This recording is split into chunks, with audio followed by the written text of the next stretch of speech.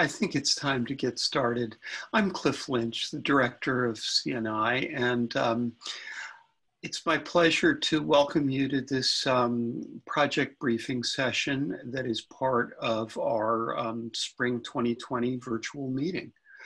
Uh, our virtual meeting is now about at midpoint. It will go, run through the end of uh, May, and uh, there's plenty more to come.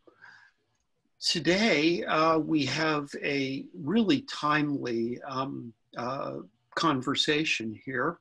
Um, Mike Furlough from Hathi HathiTrust and Stuart Lewis from the National Library of Scotland will be talking with us about initial steps to building a global registry of digitized works. This is something that um, clearly has been badly needed for a long time. Um, it's challenging in the sense that um, it's not immediately obvious who should take charge of such an effort or how to um, how to do it sustainably. Uh, but nonetheless, um, it's really important, and uh, certainly recent events and um, the uh, closure of most of our libraries, um, our inability to get at our physical volumes, um, during the pandemic has really underscored the importance of efforts like this going forward. Uh, we'll hear from Mike and Stuart, and then we'll take questions at the end. There's a Q&A tool down at the bottom of your screen, and I'd invite you to um, add, uh, to, to enter questions as they occur to you during the presentation, um, although we'll deal with them all at the end. Um, but certainly there's no reason to wait putting them in. Uh, Diane Goldenberg Hart from CNI will um, materialize into existence at the end of this and will moderate the uh, Q&A. And with that, I'm going to turn it over to Mike um, and uh, it just remains for me to thank our speakers uh, very much for doing this presentation and to thank you for joining us. Over to you, Mike. Well, thank you very much, Cliff. And uh, thanks to everybody for joining us this afternoon or this morning, depending upon where you are. Um, I am really sorry that we were not able to meet together in San Diego at the end of March as we originally planned. Um, there is one positive thing that came out of us not being able to meet in person, and that is that Stuart Lewis is able to join us uh, Stuart I, and I have worked together on this project over the last uh, year and a half to almost two years now. Um, Stuart, uh, you want to say hello and just wave around? And you, yeah, yeah. Good yeah. evening from Scotland. Yeah. So um, I'm going to start this off, and then Stuart will come back on, and we'll trade off uh, on topics here. Um, let me give you a quick roadmap for this for this presentation this afternoon. Um, what we will do is take a few minutes at the start to talk about a project uh, and uh, the background for this project to, to, develop what we are calling a global, but with quote marks, registry of digitized texts. Um, we'll explain how this global digitized dataset network came to be, um, and I'll talk a little bit about the reasons that brought us together. Uh, and at that point, Stuart will join us to talk about the research we did into uh, why we need such a service, what it could be used for, the use cases for it. I'll come back and talk about some data analysis and aggregation that we did as part of the project. And then Stuart will wrap it up and lead us into conversation about what a sustainable project and a scalable data set for this service might look like. Um, let me comment about scope to start with. This was a project that we did for a year. We had one year to, to, of funding. So we had to scope this pretty carefully. And as a practical matter, matter we focused on texts, um, most specifically texts manifested as books or book-like materials, that is monographs and serials that have been digitized at your library through your own local efforts or through mass digitization programs over the last 20 years. So the project was led by our PI, Paul Gooding, in information studies at the University of Glasgow. And I should have said at the outset, thanks to Paul for letting us borrow some slides that he had used in previous presentations here. We've uh, added a few things and pushed them around. The network itself uh, included HathiTrust. I was a co-investigator for the project. Uh, it also included the National Library of Wales, the British Library, and of course, the National Library of Scotland. Research Libraries UK joined onto this project as well as an advisor, as an, as an interested party, given the interest of the research libraries in the United Kingdom in, in this particular act, uh, effort. So we came together, as I said, with funding. It was from the Arts and Humanities Research Council. Uh, they announced a program in the fall of 2018 titled US UK Collaborations in Digital Scholarship and Cultural Institutions. And this followed on from several earlier uh, programs and efforts that they had. And the real focus for them was to look at digital scholarship. Uh, how could existence of digitized materials uh, support researchers and, in their needs? But the impetus for this project began with more of a library management kind of question, and it came from Stuart initially. Um, in the fall of 2018, he got in touch with me and said that the National Library of Scotland was exploring its digitization strategy, and it was trying to figure out how to prioritize materials that should be digitized, and it was curious to know whether HathiTrust could help to avoid duplication of effort. Were, you know, really, were there ways for us to work together to help identify things that were held in, in Scotland uh, in the National Library that had already been digitized and therefore did not need necessarily to be digitized again. And my response on this was, let's absolutely work on this because we at HathiTrust had a really strong interest uh, ongoing in understanding the scope and extent of mass digitization. Um, the collection that we hold in HathiTrust is substantial. It represents a very large portion of what's been scanned through mass book digitization programs. I'm going to exclude for the, nom- for the moment uh, the kind of work that has been done by ProQuest, Gale, uh, Adam Matthew, and, and many other vendors, really uh, high quality work and at fairly significant quantities. But when I was thinking about mass digitization and putting this slide together, I was thinking about work like Google, right, Internet Archive, um, we have in the HathiTrust today about 17.4 million volumes. That's a book on a shelf. That's about 8.8 million titles, both book, uh, rather monograph and serial. Um, but that's not everything that's been scanned, and it's not even everything that Google has scanned. Um, the HathiTrust collection is largely representative of North American mass digitization programs, not so much of Europe, not so much of Asia. Um, and so to get at Stuart's question about how to understand the scope of digitization and how to identify those materials that had already been scanned, um, that really required further work, and that's what led us into this project. So at this point, let me hand it over to Stuart to talk about how the investigation got underway and the work that we did in the, in the following months. Thanks, Mike. Yeah, so as Mike said, we had just one year of research funding from the AHRC, so we had to be quite careful about the scope that we that we had. Obviously, there was no way we could build a global data set of digitized texts um, in that time, so we sort of had to look at what we could do. So we really tried to initially look at two two questions. So the first one really being how feasible is it to aggregate these records? You know, we all know that aggregation of metadata on one hand sounds very easy, but actually the devil really is in the detail. So actually, you know, how easy or feasible would it be to do that? And then secondly, if it is feasible, where would the value come to users? Who would the users be and sort of how would they use it? And then ultimately really, you know, would, would the cost of developing such a resource um, be outweighed by the value that it could bring? So we can just go on to the next slide, Mike. Thanks. So we we had a number of sort of objectives and deliverables that we wanted to look at um, or we wanted to deliver. So the first was we wanted to undertake a trial matching of data from the UK libraries who are partners and the existing HathiTrust data set. So actually could we, you know, obviously it's it's not global, it's a it's a tiny, tiny proportion, but can we at least aggregate our different data sets together? Um, we then held a number of workshops to explore what would be the benefits um, and who would those benefits be, how, what, what would they deliver to people. Um, we then wanted to actually deliver a data set, you know, prove that we could aggregate this data, um, so create a data set that we can publish. Um, and then we wanted to look at, so if this is successful, how could we actually move this forward um, in terms of actually sort of concrete steps? What, what might they look like? in terms of creating then a sort of truly global data set of digitized texts um, and any services that they could um, deliver as well around them. If we can have the next slide again, Mike, thanks. So when when we first submitted this um, grant proposal, we we really sort of concentrated around what we thought were three sort of main use cases of this. So obviously the the, the primary and most simple use case is, is simply I'm a reader. There's a text I would like to read, a known text. Is it digitized somewhere? Can I access it?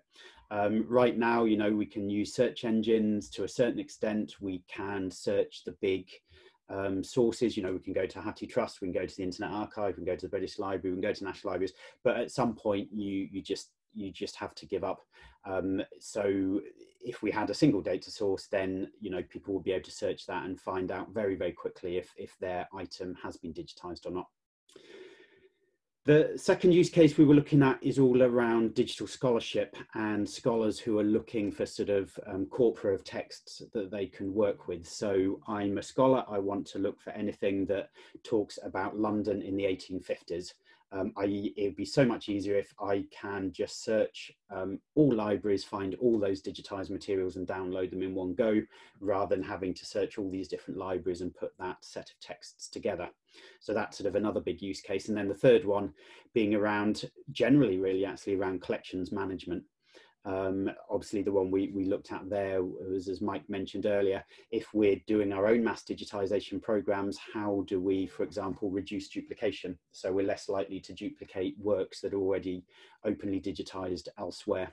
Um, or indeed, there's other sort of other, you know, whether it's print retention things, other collections management um, uses for that data as well. So we first did this through team meetings in Chicago. We did a lot of sort of brainstorming, brainstorming around the sort of ag traditional agile user stories. You know, as a X, I want to do Y so that I can achieve Z. And so we, we came up, we, we really sort of expanded those three initial use cases um, quite a lot. And then we took those to a workshop in London um, in June last year, we had an audience, I think about 30 or 40 people from a whole whole range of backgrounds, sort of some scholars, some librarians, um, different groups, archivists and so forth, metadata experts, different people, and just looked at what their their use cases would be, and then sort of un undertook, you know, an investment exercise. Everybody was given um, a sheet of coloured dots, and really saying, you know, what where where would you get most value from this? Um, and then obviously we were able to use that group also to look at um, discussions around things like feasibility, stakeholders, how we could move forward and so forth. And so, yeah, really sort of five themes emerged out of, of those sort of expanding on the use cases. One around, you know, efficiency, cost, impact, value, you know, what, what as particularly around collections management, how can, how can that help us um, within the library sector? Um, discovery and access, there was a lot there around um, readers. Um, there, there, was questions that came up about provenance as well and really understanding. So it's it's great seeing a big list of digitized text, but actually where have they come from? You know, that's and how did they get there? That would be very important to some um, users. Um, there were the research case studies as well, particularly around digital scholarship and creating um, corpus of different you know texts from different libraries. And then finally actually how what what else could we do with this? You know it, it, some of the more exciting parts actually came around when you say well now we have 20 30 40 million texts digitized. Can we actually do things at a scale that we never could before? Some of those could be very simple. You know can we can we load them into our discovery systems as a, as a single data set um, so that we can make some of our print collections available digitally as well um, but, but can we, are there things that we can do with those texts that we can only do once we have aggregated them? So for example, once we have the OCR, does that make it much easier to do matching and deduplication than it does if we're just looking at metadata, for example? So we looked at, we looked at those areas as well. And then finally, we we undertook a survey as well of the sort of wider community as well. Obviously, we we wanted to get many more voices than those that could attend the workshop. So we we did a, an, an open survey. We had a number of responses. Um, so that brought in sort of more use cases we hadn't really considered before around teaching, um, thinking about where this data set sits in relation to other services. Um, and and again, like with the, with the workshops, there did see uh, seem you know to be a really a real clear interest in pushing this forward um, as an idea. But at the same time, um, you know, there, there was some caution came about, you know, not everybody understood the concept. Um, there were sort of, you know, a lot of questions very valid about, you know, so you're talking about a global data set, but you know you've only got a very small subset here and things like that. How, how do we do balance between larger and smaller organisations and different types of collections? And obviously, um, with any discussion like this, it all comes down to metadata and quality um, and the analysis, you know, that, that that allows or doesn't allow.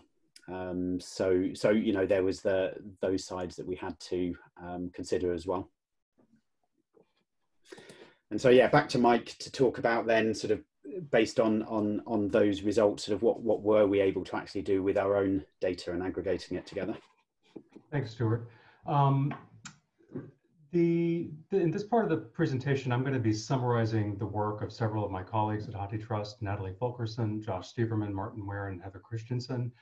There is a lot more to say about the work I'm going to be talking about here. They, they could give a much more detailed briefing on some of the analytic work that they did. And I will show you a link to a blog post where you'll be able to find out more about this part of the work um, in just a couple of seconds. But the you recall the original inquiry that led to this project, right? It was how do we determine what has been scanned and how can that inform digitization strategy? So for librarians looking to analyze collections, there was a real issue there. It seemed to be about the ability to cluster titles, identify that they're equivalent, and um, and deduplicate, right? Avoid that duplication. Um, but duplication isn't always a bad thing for a general user or a scholar relying on such a resource, you would expect that some of them might want to find duplicate copies to hedge against the potential for errors in digitization, missing pages, defacement, something like that, or even to examine textual variants. So part of what we were exploring in this, in this part of the work was how could we better do clustering of titles? How could we potentially better inform and represent such clustering in a resource like a registry? Um, and I will say that in a year, we could only really skim the surface of this. The first thing we did was rely on an existing process that we have in HathiTrust to analyze holdings against bibliographic data that we hold. So, and to say very briefly, all of the HathiTrust member libraries give us information about their physical holdings, and then we periodically analyze those holdings against the HathiTrust catalog, um, and we use those matches, that match data to help inform our collection development our shared print program. Um, it supports some access services such as our current emergency temporary access service. It informs fee calculations and, and so forth. Um, so typically what we're doing is looking at identifiers in records uh, to, to cluster and match on it in order to do this. So our first step was to gather metadata from our partner libraries in this project. And you can see here a pretty wide range of quantity of records provided to us. Um, the British Library provided us only records for items that have been digitized, and I believe all of this was from their Google partnership. Um, uh, and just many more records that they could have provided, many more items have been digitized than, by the BL than what we were working with. National Library of Scotland and Wales provided us with extensive records for their collections as well as for print records, print holdings as well. Uh, and then HathiTrust had about 17 million items at that time. Um, as I said, we have always tended in HathiTrust to rely on identifiers and specifically an OCLC record number to be able to match bibliographic metadata against holdings. We've relied on this because the vast majority of the collection of HathiTrust has this identifier in our bibliographic data, um, and it's very common in our member libraries. But our member libraries are largely North American, and what we determined very quickly in this project was that these record numbers, these identifiers are less common to rare to non-existent uh, in the records that were provided to us by the national libraries. Um, they seem to be more common in the records for print or rather undigitized materials that were provided to us. Um, when we were able to do matching, or rather when we were looking at this, it ranged from, you know, 1% of the records had uh, OCLC numbers in them for the BL to about 30%, I believe, for, for Wales. Um, so it's pretty wide variant there, and obviously that's only going to get you so far if you've got, you know, if you don't have the presence of these identifiers. We have at HathiTrust also done some work with other registries and looked at other identifiers to try to provide these kinds of matches.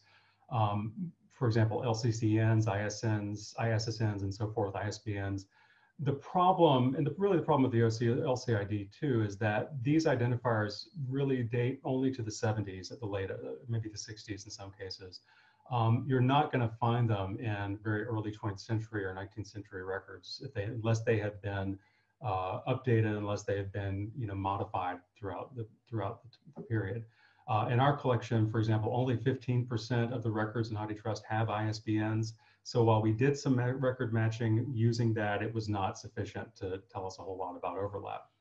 Um, so obviously normalization is going to be a significant undertaking for any registry that like this that gets developed. Um, I'm going to talk real briefly here, very briefly, about four other methods we explored to do uh, item and title and record matching. Um, the first two methods relied primarily on string matching in titles. Um, that has a benefit of being quite precise, not very computationally expensive, um, but variation in cataloging practices, variation in titles and so forth might exclude true matches. Uh, you may not get all of your matches, in other words. We also explored some statistical methods, including a bag of words approach and some machine learning and machine training approaches to help us um, identify potential matches as well that turned out to be quite promising. We did not have enough time in the project to take it to fruition and, and do it at a very large scale. So that's work we're going to have to come back to. But that type of work also brings other challenges. It's you know it's computationally expensive and it does not eliminate the need for human intervention. So what uh, briefly, you know, a quick summary on this is that in addition to, you know, you know that that analysis is going to have to happen or other metadata normalization is going to have to happen in order to do this kind of analysis. Um, so duplicate detection, clustering across heterogeneous metadata sources is challenging. Um, there are a lot of trade-offs to to um, to uh, you know look at with this, and I think the experience that we had with this suggests that you're going to need a, a multitude of approaches, right? Maybe a cascading approach where you use identifiers where you can, then you use other methods like machine learning if you um, if you can afford to do that, where you might need to do further kinds of matching with more um, ambiguous results. Now, as Stuart said, we did make a promise as part of this project to deliver um, a record set of aggregated metadata from our part from the partners. Um, we referred to this as the proto registry, which is really a fancy word for a data file, a flat data file that we were going to publish. Um, there was no functionality promise. We did play around with some of that to visualize it, but it was not something we could maintain. Um, we scoped this part of the work to make sure that when we publish the metadata as an aggregation, that is the records of all of these digitized items from these four from these four collections, um, we wanted that that record set, we wanted that metadata to be fairly consistent, fairly complete. So we looked first to a model again that we employ at HathiTrust for publishing an inventory known as the Hathi file, we looked for common fields in the records and then aggregated based on uh, information, pulling them from those fields. Um, and this table gives you a very quick overview of what minimal metadata was included in this, as well as a DOI that you can go to get the data set and play with it to your heart's content. Um, and that is all I have to say about data analysis and, and aggregation at this point. Um, instead, what I'd like to do is turn this over to Stuart to wrap up at this point. And Stuart, yep, you're muted. There you go. Yeah, thank you very much. So, yeah, just in terms of the conclusions and future work, sort of quite quickly, um, a point Mike always sort of really drums home to us. You know, registries are critical um, but undervalued infrastructure you know we, we forget about them sometimes. We forget about the infrastructure we do need that will really bring more value um, to what what we do. So um, you know this could be quite an important piece of infrastructure like that um, through the engagement work, you know, we get a sense that there really is a need for a resource like this. Um, and as I think, you know, Clifford mentioned in the introduction, maybe the current situation, the current pandemic actually gives it even more value than ever before. The fact that, you know, our students, our researchers, they can't get to physical libraries. Um, but if it's hard for them to find what has been digitized, then, you know, could this be part of that answer? And then really, you know, for us as we look forward, you know, what might a, sustain a sustainable project look like? You know, um, as I said earlier, things always come down to metadata, but equally, you know, there's always that question of well what's good enough metadata to actually make this happen? You know does it actually matter for example whether we can do data matching? Does it matter that if somebody searches for something they find five copies that are duplicate but the system doesn't know they're duplicate? You know this sort of thing. And the cost value um, of doing data matching you know it's it's complex but how would it you know would bring value but at what cost? How do we scale this? You know, obviously we were working in the sort of low tens of millions. How does this scale when you, or indeed, what what is the scale of the problem right now in terms of worldwide digitization and the amount of items out there?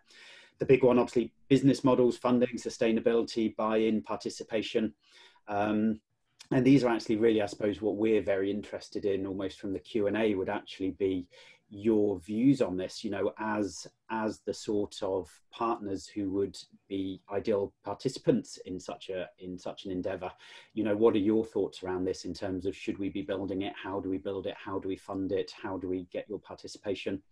Um, obviously the issues around um, updates, keeping it accurate, that sort of thing. There's the questions around other communities. You know, there's there's sort of work in other communities looking at similar problems. So things like the IIIF discovery, um, that sort of thing. You know, it's it's part of the answer, not all of it. Um, and then, you know, the big, big one that what the work we've done so far is far, far from being global. And the challenge is then of um, multi-languages and character sets and, and, all this and how we bring that together and does does it merge in, in the same way when we go beyond anglophone collections. So so really as well as you know we're very it'd be great to sort of answer some questions and answers. Thank you very much for coming. It's it's been um, a pleasure to present to you. We're really interested i suppose in your feedback as well just in terms of this as a project this as a concept and and what you think of us sort of um, going forward in that. So thank you very much Wow, thank you. Thank you, Stuart. Thank you, Mike.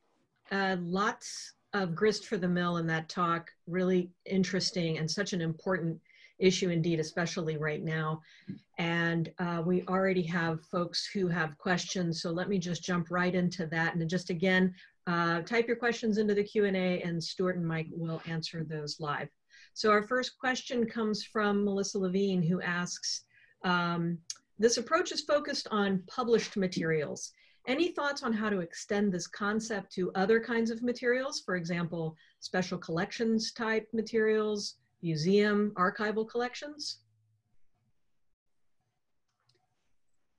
Do you want to go, Mike? Uh, I can, I can say, um, yeah, thanks, Melissa. Um, we didn't really spend much time worrying about that. And it's not to say that it's not an important problem, but just keep, our focus was entirely on published works it's not to say that it could not be done, um, but the type of my, at least my own limited experience with metadata on archival materials is that the aggregation of that might be even more challenging given um, the there's there's not a, the kind of standardization on the data uh, across the board that you find in bibliographic metadata for published works. Um, so I think that's one issue. Um, so I, I wouldn't say it can't be done. Um, I would simply say that we did not have the opportunity to spend a whole lot of time thinking about it. It's, I think it's clear that it would obviously be valuable and potentially even more so uh, because of the difficulty in locating archival material. And there's not a WorldCat for that in the same way. So mm-hmm. Stuart, you have anything else to add? No, no, absolutely. That's, yeah, as you say, all right, thank you, Melissa, for that question. Um, before I move on to the next question, I just want to remind everyone, uh, go ahead and type your questions and comments into the Q&A as uh, Stuart invited uh, our attendees earlier to share your thoughts, your ideas about potential applications, uh, potential partners, and that sort of thing. So this is definitely a forum for comments as well. Uh, so our next question comes from Kristen who asks you, uh, can you talk us through how this works on the user side? For example, archives usually require registration of some sort, which allow for stats on the types of users, et cetera. Are you gathering that data for users or do you plan to? Shall I answer this one? So, Please. yeah, so this, this was certainly something we ran into with the prototype that we developed because a lot of people sort of tried it out and they, they searched, they came up with some good results, and particularly those in the HathiTrust, they were all going, but I can't access that, but I can't access that. Obviously, because a proportion of what's in the HathiTrust due to copyright, due to fair dealing, is for HathiTrust members. And so something that certainly this would need to do, which we didn't actually do in the prototype, but one of the big lessons we learned is really we need to know sort of, you know, as we aggregate this data, we also need to know what the access options are for each item you know is it open what sort of license has it got with it so that when we present this as a faceted search you know you can sort of tick the box that says show me only you know open access creative commons um, you know, reusable items so that you can facet down that way. Um, so that if people really, you know, they, they want to know, or, you know, maybe there'll be a box that says, I'm a HathiTrust member, and then it will open up sort of more content. So I think, yeah, and having that, but at, at a basic level so that we can at least facet on that and, and sort of lighten up or darken um, different parts of the collection depending on sort of who you are, where you are, and what access you might have, and how yeah, there'd be sort of work required then how, how we make that sort of usable, but also understandable, I think, to people so that they understand what they're searching and what they will have access to because, you know, no, no we all know nobody likes getting search results that they can't then access. Um, and so, yeah, that would be a very important part of that. And just, I suppose, in terms of the second part, in terms of statistics, I mean, again, the, the, the phase one project really that we did, the one year AHRC project was really looking around feasibility. It didn't look into sort of how, you know, if we did this live, how would we do things like gathering statistics and things. We did get feedback around that saying, you know, people would actually value more statistics. Not every library is able to collect access to statistics to the level they would want, particularly maybe where uh, materials are getting used in other ways around digital scholarship and things like this. And this might allow it would just be another sort of indicator of usage. But I don't think, you know, it would just be in sense user statistics of of the of the site, I think, rather than it necessarily um, yeah, gathering data about users as such. Great, thank you. And thanks, Kristen, for that question. And we have a question from Robert who asks, are you developing or leveraging standard criteria or metadata for faceting on open access, licensed, etc. That could be very that could be very helpful for improving user experience, for example, via Simply E. Uh, you want to jump on that one, Stuart? Yeah, I mean, I can do, I suppose. Again, I think this is where, you know, we've we, we've done a prototype to prove we can do this, but we haven't looked into the details then to say, okay, we've learned we need rights in here. What would be the best way of doing that? And obviously, as as Robert says, you know, something like Simply would probably be an ideal standard to do that. So I mean, it, it's a great suggestion. Thanks. And obviously, you know, if we do move forward, then we can yeah look in those different areas where we need to sort of make decisions, and and that would be a key one. Yeah, uh, that was exactly what I was going to say. I think it's clear that we would need some kind of some kind of standardization and, and in use of a normalized vocabulary for that. So right, right, yeah, makes sense. Thanks for that question, Robert. Um, just um, wanting to remind everyone uh, to type your questions in the Q&A. Robert has a follow-up here. Let's see, he comments, mapping OPDS to your approach could be very effective, a very effective thumbs up to the answer. So um, I want to go ahead also and invite anyone who might like to make a comment live or um, make a, have a question, want to interact directly with Stuart or Mike. If you want to do that live now, you can raise your hand and I can unmute you. Um, we have a couple more minutes here. We can do that. There should be uh, an option to raise your hand and that will signal to us that you would like to make a comment or ask a question live and we can go ahead and unmute you for that. Um, while we're waiting to see if there are any other questions to come in, I just want to remind everybody that this is part of CNI's uh, Spring 2020 virtual meeting. Thank you so much for being here. Thank you to our panelists for presenting today. And I'm just sharing with you there in the chat box uh, direct link to the schedule for the rest of the meeting, which will uh, go on through the end of May. Plenty more offerings to come, including a couple more sessions uh, this afternoon if you're uh, in our time zone. Um, one right after this, implementing effective data practices. And after that, statistical consulting in the library. All right, seeing no more questions coming in through the chat box, I will simply um, thank our presenters and our attendees once again. It is our pleasure having you here and we really appreciate your uh, being here with us. I'm